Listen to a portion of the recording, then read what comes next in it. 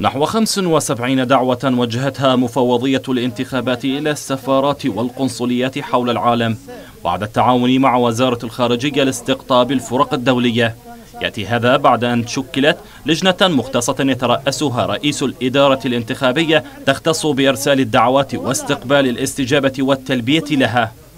مفوضية الانتخابات أكدت أن الاستجابة كانت سريعة وأبدى العديد من السفراء الذين التقوا رئيس مجلس المفوضين في مفوضية الانتخابات أبدوا رغبتهم بالمشاركة في مراقبة الاستحقاق الانتخابي القادم.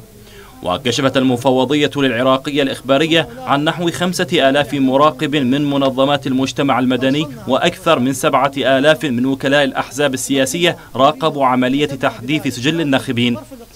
وتقسم مفوضية الانتخابات عملية المشاركة في مراقبة الانتخابات إلى مراقبين دوليين وإعلام دولي ومنظمات مجتمع مدني ووكلاء الأحزاب السياسية فضلا عن الإعلام المحلي.